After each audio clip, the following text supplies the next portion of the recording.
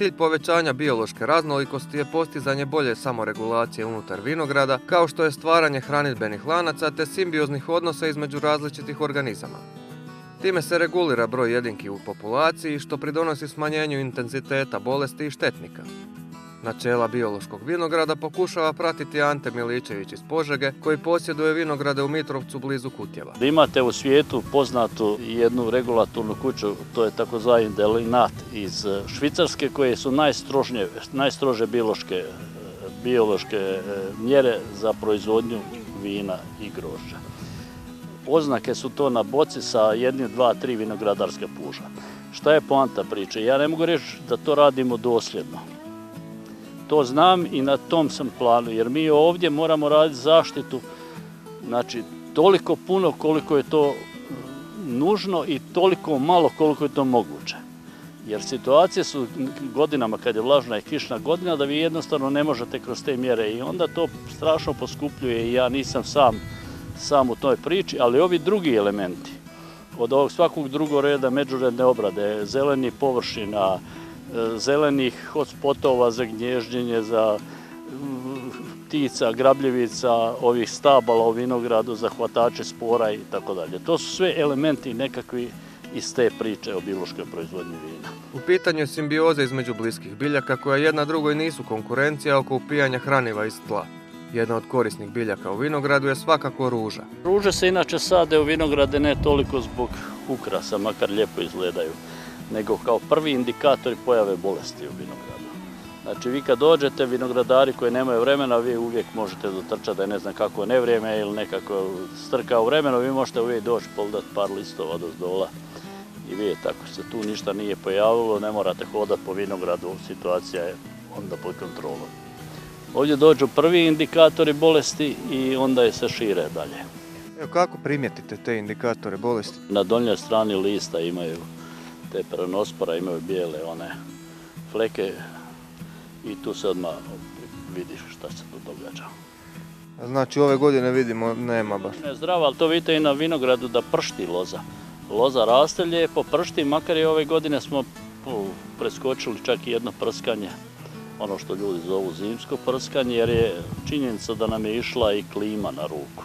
Bilo je relativno sušno, jer je Kritično je u vinogradu ove nagle izmjene sunce, kiša, sunce, kiša zbog te prenospore, jer ona se katišno diže od ozdola prema, prema listu. Osim korisnih ruža, u vinogradu našeg sugovornika puno je biljaka u simbiozi koje pomažu vinovoj lozi u njezinom razvitku. Sve je tu u biocenozi povezano. Ja vidim, vidite, imam ovu lucernu, imam djetelinu koji ima, to su zapravo hvatači dušika, znači oni obogačuju tlo dušikom jer ja imam ovdje dosta dobro humusnu situaciju. U dušiku tu radimo i tu je gnojidba znači sa ekološkim gnojivima, tu nema konvencionalnih gnojiva i pokušavamo ostaviti koliko god se može da pokupimo dušik iz zraka i ugljični sad je on pokosio, to je bila uglavnom djetelna i nju pustimo dotle dok ona odsvate i ona raspe sjeme i ona iz početka. To znači jedan pot pokošeno i eventualno pred berbu.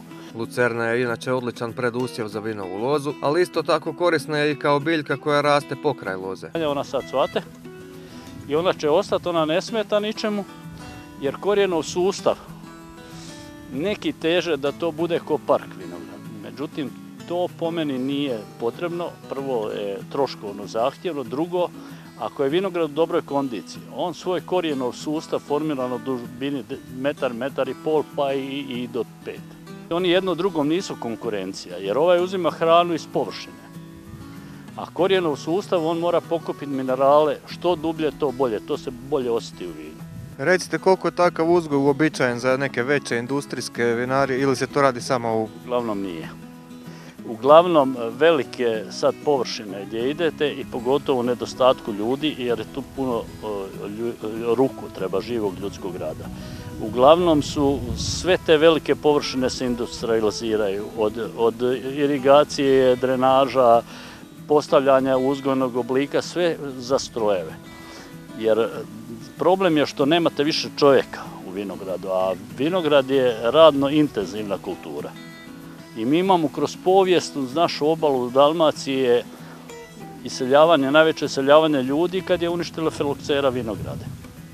Jer vi ovdje trebate čovjeka, vi ne možete neke stvari, možete, ali to nije ta priča. Isto tako, prema Miličevićevim riječima, i berba bi se trebala obavljati pomoću ljudskih, a ne strojnih ruku. Vlado i ja ne beremo beračima, još uvijek makar imamo kutiju od četiri berača, još uvijek to rukom radimo i sortiramo grožđe, beremo kad je optimalno zrelo, tako da, da nema što, jer to vinar, to mora vinar odrediti u vinogradu. Mora znati prepoznati optimalnu zrelost, mora to provjeriti i u tu ravnoteže kad mu je ono želja proizvesti maksimalno moguće kvalitetno vino.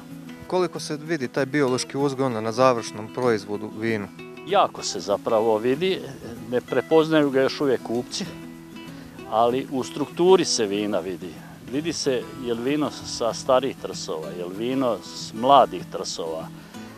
Jer vino, neki kažu da ova strojna berba ne daje razliku vinu, neki kažu da daje. To je sad sve percepcija, percepcija jer šta je sad tu objektivno, to je teško reći. Ja zagovaram tu nekakvu njemačku školu sa tom biološkom proizvodnjom i, i nekako sam na potkama tog te biološke proizvodnje od tog Delinat instituta, tako da probam se tome držati, a to je onda ono što mi zovemo u skladu s prirodom. A u skladu s prirodom proizvodi se jedan neizostavni dio u proizvodnji vina, pluteni čep. Vrhunski čep je uvijek jedan proizvod koji osigurava dugovečnost vinu. Osim toga vino mora biti pripremljeno za starenje. Znači ne možete uzeti vino s tržišta i reći vino neka stari. Miličević otkriva da su kvalitetni pluteni čepovi napravljeni od kore hrasta plutnjaka. To su plantaže, isto kako su vinogradi, kod nas uglavnom je to Portugal, pa ne znam, sjevero, zapad Afrike, Španjolska malo, ali uglavnom Portugal izvozi 70% tog pluta. A pluto se uzima na način da mlado stablo, znači staro 30 godina se ljušti svaki 9 do 12 godina, jednostavno se fizički odvaja kora, to imaju ljudi koji to znaju raditi, odvaja kora, ta kora se ostavlja u prostoru, pegla. Međutim, ta još kora u toj mladosti, to je takozvani juvenilni pluto, on se ne koristi za čepove, on se koristi u industriji pluta, potpetice, ploče i ostalo. Onda negdje 40. pa do 120 godina, svaki 9 do 20 do 9 do 12 godina se ljušti ta kora od koje se onda radi put. Znači radi se na način da se prave trake, kako je stablo već koliko promjera. Te trake obično su dugačke od 8 do 10 cm. Iz njih se praktički izbuši pluto koje sad zavisi 26 mm puta 45, 6, 50, zavisi kakav je. Ako ide za arhivska vina, onda mora biti vrhunski. Jer to vidite na plutu zbog strukture. Pluto inače mora biti živo, znači mora dobro ekspandirati u boci da ne dolazi do oksidacija.